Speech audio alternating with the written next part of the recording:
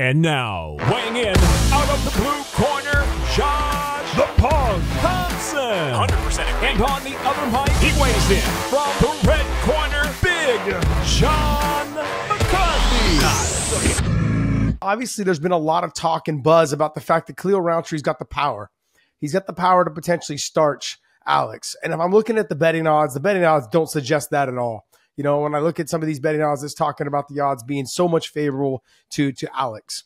And I'm not to, you know, uh, I'm just to simply say Khalil's got the power. We know that, but does he have the ability and the technique to get to Alex's chin? Um, I mean, I'm I'm of the view that like you know what, like for example, you guys have been around long enough to notice this. Like we're living a different era now where guys are winning a few weight uh, or they'll win a weight class title they'll defend once or twice and then they've got their eyes set on going up a division. And we come from an era where that just didn't happen for a lot of different reasons. Guys would win and then just stand a post as long as they could for challenger after challenger. And what you found doing that i think you guys might agree with this is that sometimes like you would look around and it would be like you know what was one of mighty mouse's he won it but like what was one of his tougher fights? It was who was the the, the kid who came up uh, Elliott. down from Uh, Tim Elliott, Tim down from 35.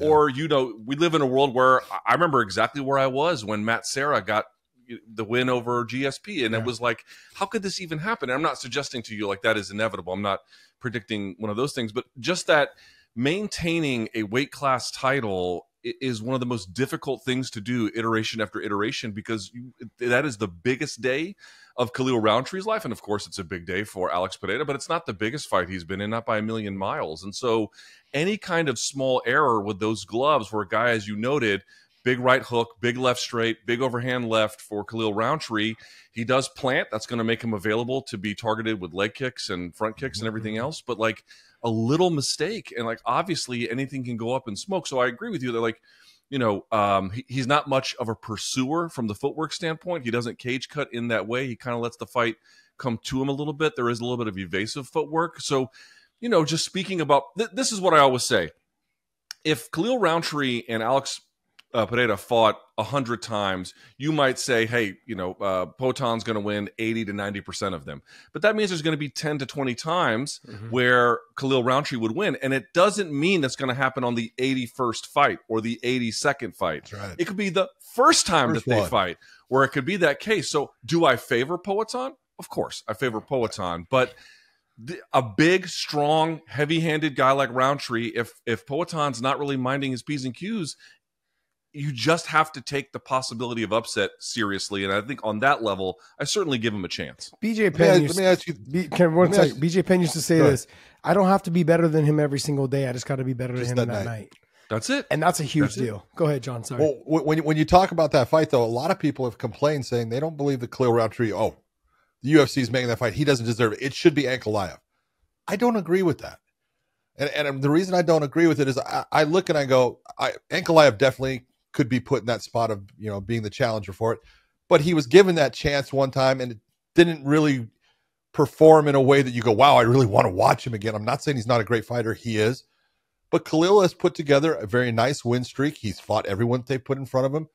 And at least they know the fight should be exciting. And I think there's going to be a knockout in it based upon the way both of these guys fight.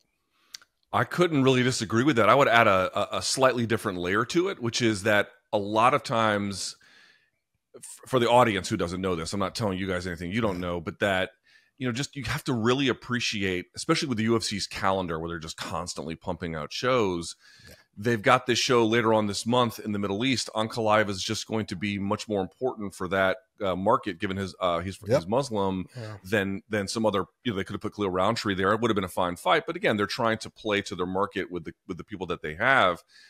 The point you also raise is certainly that like Ankalaev's had a couple of these, like the first Johnny Walker fight, then the the the the Blachowicz fight, where it's like, dude, what are you doing here? Like this is not a disciplined way to fight on your part, or at least not, you know, wasn't Yeah. very thoughtful, certainly in the Blachowicz. The thing I would add is that a lot of times fights get made. Yes, who would be a good matchup? Does this guy deserve it? Blah blah blah. But also like we've got a calendar date we have to fill. Who is available? And then they just go down the list and then they try to put a thing together. And so I think a big part of this is you couldn't headline this card with uh, the women's fight in the co-main event. It's a fine fight to have, but it's not going to headline the card. Call up Poatan, get on the bat phone, and then figure out who's around. And that's Has he- honestly how a lot of this is done. Yeah. Dude, has he not been their superhero? Yeah. I mean, Jesus Christ! He every time they call, he's yeah, let's go. No, I He's- agree. He's, he's he's Cowboy Cerrone. Yeah, that's exactly what he is right now. You know, he just he's at, at that level though where he'll fight anybody, anytime. And the talking conversation in terms of Ankalaev, my take on the Ankalaev situation is that if you're not ready when they call, then they move on. They don't have time to sit here and say, "Hey, what about next time? Hey, what about how about in a week or two? They're not. That's not their business model. It's never been their business model. I mean, they called me a couple times and I was like, yeah, I'm dealing with this injury. I could probably, in with like three weeks after that, they're like, okay, we're going to move on. And I sure I was like a little bit upset at the time because you're like, damn, that's a really big name I'd like to fight. That person needs to get fought because they're on a year long contract that needs three fights within that year offered to them. They have a structure in which the promotion needs to run. And so understanding that is something that uh, fighters can't take personal. They're like, oh, Ankalaev's like, hey, I'm ready to fight you. They- They're saving you or they're trying to keep you from me. That's not the truth. It's probably the furthest thing from the truth. One of the most active fighters right now is uh Poatan. And so you've got to make sure that you're keeping him happy and whoever you can keep in front of him. And I got to be honest, if Ankalaev had not said, he must have said no along the way, sometime, some way, hey, these are the dates. And I would agree with you. And I didn't agree with you until I saw your clip earlier today when I was doing some research on you, is that you basically said putting him in Utah doesn't make sense. Mm.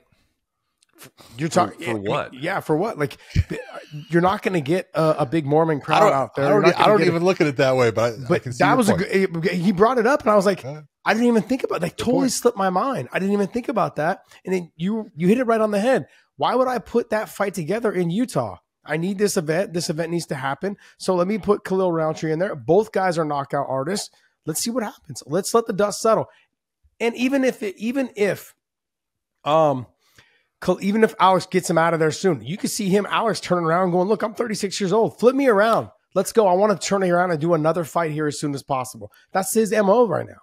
I guess to go back to the Alex uh, Pereira fight and the Khalil Rountree fight, a lot of people were just talking about the power of uh, Khalil. A lot of people were talking, obviously, the fact that he is southpaw, the fact that it's going to be a little bit harder for him to land. But then you go back and you look. Uh, I believe um, uh, Hill was also a southpaw. Somebody else that he had fought was a southpaw. Uh, Izzy switches left and right, dealing with that, taking So does away Yuri. that Yuri switches as switches well. Left, you know, left and right. His ability to time the left hook and land it. That is his MO. Khalil Rountree also, John pointed this out the other day, stands directly in front of his opponents and likes to throw down. That could be a big problem for him. Yeah, that's the thing. It's like, okay, you're going to have open stance, so they're going to be hand fighting on that same side. That's going to make some kinds of things complicated for Poatan, but it's nothing he didn't see in glory or to Yeah. your point with other opponents. Also, like when someone does that, and to your point, like how do you throw power? You have to be you have to be rooted to the ground. I think that the leg kick, the the the the step up leg kick for him is mm-hmm. going to be for Poatan is going to be big. The front the the front kick up the middle is going to be big for him and he's real good about making guys reach. And when they reach, he uh, look at how he stopped Poets. Excuse me, look how he Makes stopped. Jiri with the left hook Yeah. when he was backing up, and then popped him when he was trying to extend on it. So it's like, again, like, are there ways that Khalil could win? For sure, for sure. It's just you, you like, what's the one thing you can point to with Khalil that's like the dominant factor for him? Well, John, I'm not, John, I'm not exactly sure that I see it. John kind of thinks he, that Khalil will probably be a little bit more of the faster, more explosive fighter. Yeah, yeah, for sure. I, I- okay, fair enough. He probably has faster hand speed. He's just going to throw with more regular intensity. I think Mhm. that's probably, uh, which makes the danger element certainly significant.